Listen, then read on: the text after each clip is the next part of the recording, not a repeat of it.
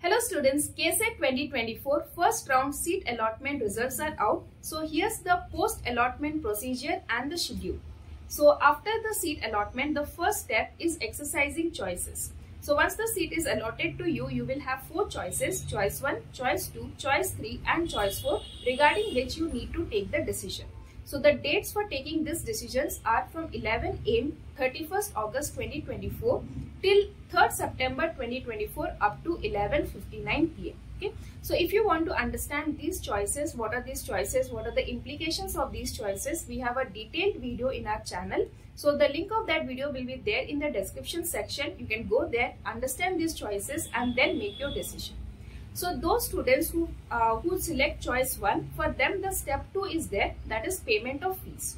So the dates for this is from 1 pm 31st August 2024 to 4th September 2024 up to 4 pm. Okay. So now after the fee payment, the third step is downloading of admission orders. So this is by those candidates who have selected choice 1 and have paid the fees. So the dates for this are from 31st August 2024 till 5th September 2024. Now the fourth step here is to report to the college. So this has to be done by those students who have selected choice 1, who have paid the fees and who have downloaded the admission order.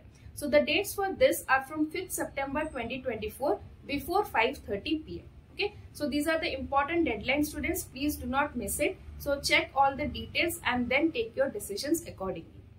Thank you for watching and please subscribe the channel for more updates.